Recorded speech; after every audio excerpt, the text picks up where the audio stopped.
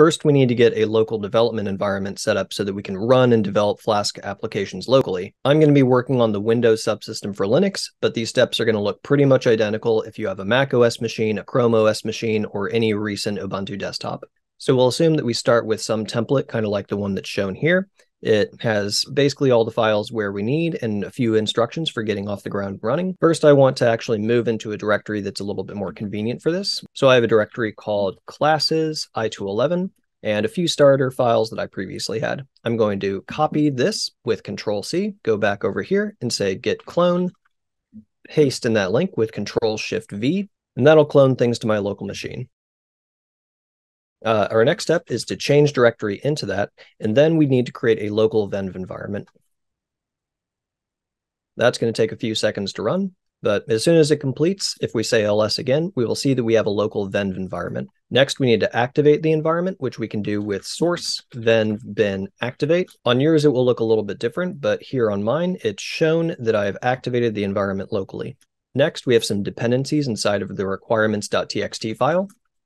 We want to install these to the local venv environment with the pip install command. Here, I had all of these cached locally, so that was pretty quick. Your first time may take a little bit longer. Let's double check our instructions. I'm going to Alt-Tab back into Firefox, and our next step is to check that Flask is running without errors. So I'm going to triple-click this to select, Control-C, tab back into here, right-click to paste, hit Enter, and it looks like there's some things that are not working correctly. See, we get this thing that says import error, cannot import name mapping from collections. Never fear, the guide is here. Let's run the patch script. Let's do one more check to make sure that that actually worked. I'm going to rerun this command. And now it's going to show us that we do indeed have Python 3.10, Flask 1.1.1, and Werkzeug 0.16.1. So now we've done all the setup. Let's actually see if it can run. Let's keep working from the terminal since we're already here. Let's copy this command, paste it in.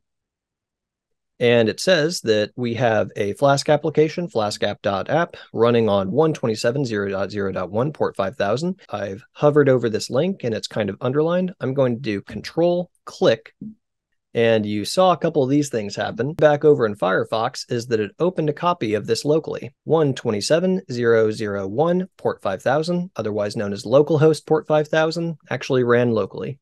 Let's do some quick cleanup. I will do Control C to send the interrupt signal and stop the Flask application from running. And then I'm going to do code space period in order to open this up in Visual Studio Code so that we can show how a few of these things will work inside of here.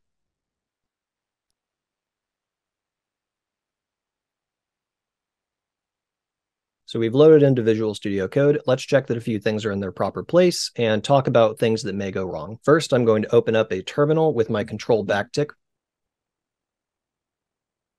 So something did work here. Notice that there's this source command shown inside of my terminal when I opened it up. This means that if we do which Python, Python is actually pointing to the venv environment. I can also confirm this by just opening any Python script, such as this patch jinja.py.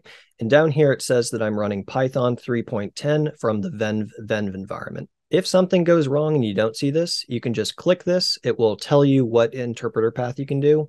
Hopefully you'll see an option up here that says venv. If you don't, check in with us. So let's see one more way to start up the Flask environment that may be a little bit easier since we're already in Visual Studio Code. We've included a launch.json configuration to get things running. And if we go into our run and debug and start up the Python Flask, you can do the F5 key if you're also comfortable with that. Notice it's going to show a couple things in the terminal. It's going to invoke the Flask run command. And the exact same thing we saw a second ago is also going to be present for us here. So control click again to follow that in the web browser. And sure enough, it opens up again, 127.0.0.1 port 5000. Since things are running from Visual Studio Code, I could put my cursor in the terminal, do Control C again in order to send the interrupt signal, but I could also do it by hitting the stop button with Shift F5. Before we wrap up, I want to show you one more thing. Let's imagine that we've closed out of everything and we've restarted our computer. Since we already did a lot of the setup, we don't need to repeat most of the steps that we did previously. In fact, everything in this quick start guide is pretty much not going to be necessary the second time around. All we should have to do in the future is to activate the venv environment with source venv bin activate and run the Flask application. Or if you're using Visual Studio Code, most of these things should be handled for you automatically.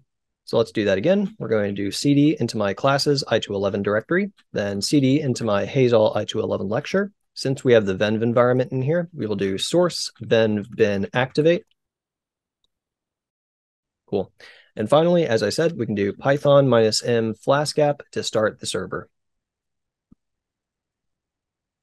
And that's all. We've now seen a few different ways to do local Python environments. Our next step is to figure out how to deploy from our local to a production server environment so that anyone in the world can interact with our application. But that's going to be the topic of a future video.